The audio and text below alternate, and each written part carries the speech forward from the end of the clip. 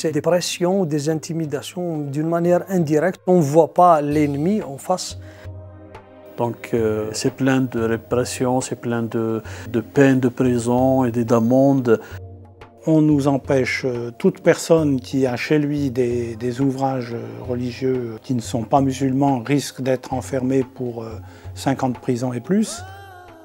On a entendu qu'il y a un arrêté du gouverneur pour la, fermeture des églises. On s'est mis d'accord qu'on va continuer l'activité de l'église euh, jusqu'à où la police euh, va utiliser la force. On a décidé de continuer dans toutes les conditions. Ancienne colonie française en Afrique du Nord, l'Algérie a obtenu son indépendance en 1962 après des années de guerre civile. L'islam domine la région et impose son pouvoir par des attentats, des menaces et la répression. Depuis 50 ans, les chrétiens sont une minorité opprimée et l'Église lutte pour son droit à l'existence.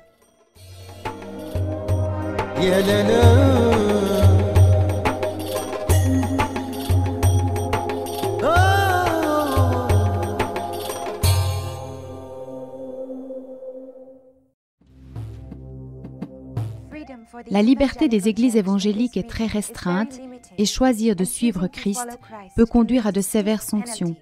Sur 35 millions d'habitants, seuls 30 000 Algériens, une petite minorité, ont mis leur confiance en Jésus-Christ. Cependant, Dieu est à l'œuvre en Algérie. Il travaille puissamment par l'Église pour propager l'amour du Christ. L'Église, elle grandit parce que l'un parle à l'autre et, on voit le témoignage concret des uns et des autres. Et c'est pratiquement du un à un, quoi. Et Dieu utilise les songes pour leur faire comprendre quelque chose.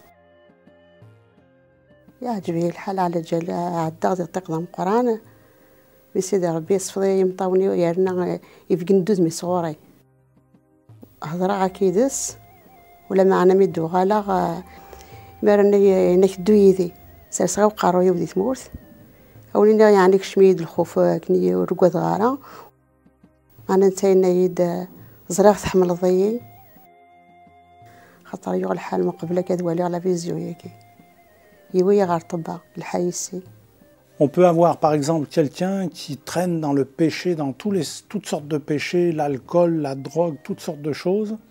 La famille ne va jamais s'inquiéter outre mesure. quoi.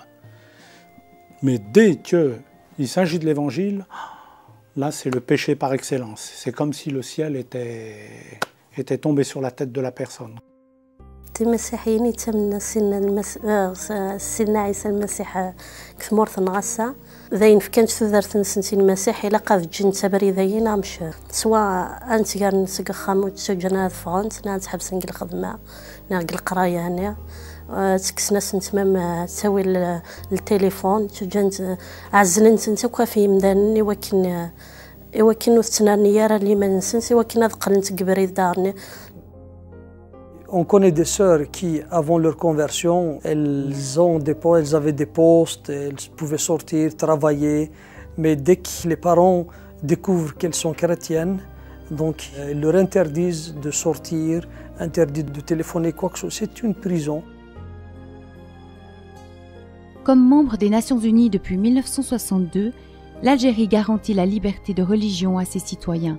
Pendant des années, les chrétiens d'Algérie ont vécu en harmonie avec leurs voisins musulmans, jouissant de ces droits fondamentaux. Mais, en 2006, tout a changé. Le gouvernement algérien a promulgué l'ordonnance 0603. Cette loi contrevient à la charte de l'ONU et restreint gravement tout culte autre que musulman. En 2008, plus de la moitié des églises protestantes ont reçu un ordre de fermeture verbal ou écrit. Par exemple, ne pas pouvoir euh, se rassembler dignement dans un lieu de culte qui se respecte, ça c'est une atteinte, c'est du mépris. Donc euh, tout ce qui concerne la confession de foi, c'est-à-dire on n'a pas le droit ni d'avoir des ouvrages, euh, par exemple la Bible déjà, très difficile à trouver, très difficile à importer. En plus d'être harcelés s'ils se réunissent pour le culte, les chrétiens s'exposent à des pressions et à des sanctions s'ils vivent ouvertement leur foi. Le ministre des Affaires religieuses a déclaré à maintes reprises que, dans son esprit, évangélique égale terroriste. Annoncer votre foi à un musulman peut être puni de 5 ans de prison et de 5000 euros d'amende. Posséder ou distribuer des livres chrétiens est sanctionné avec la même peine. Même ceux qui suivent Jésus en toute discrétion sont inquiétés dès que cela se sait. Dans les procédures, les imprécisions de la loi et leur application arbitraire laissent les chrétiens à la merci des procureurs.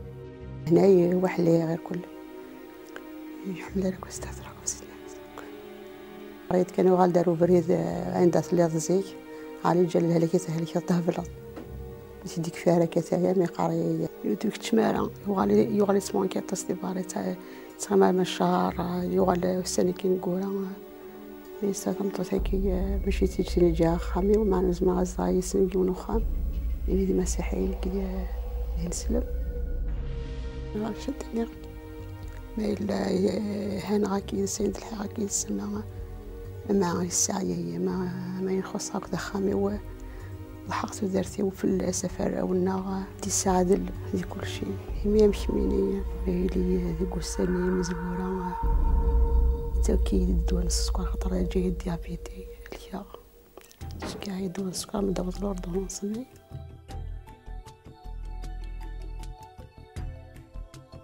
La persécution, euh, tout, c'est comme un filtre en quelque sorte. tous ceux qui ont une foi qui chancelle comme ça, hop, tout de suite, on les voit, ils s'écartent. Et par contre, les gens qui assument leurs responsabilités, qui veulent vraiment euh, suivre le Seigneur, ils répondent présents et ils sont prêts à des sacrifices euh, de toutes sortes. Hein.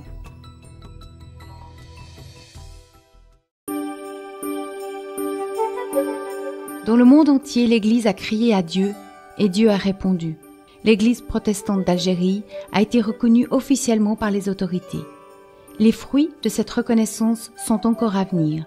Nous vous demandons de prier pour nos frères et sœurs, que Dieu agisse avec puissance pour eux. Nous avons vu un miracle en Algérie. Que Dieu continue son œuvre et répande la paix dans une région troublée.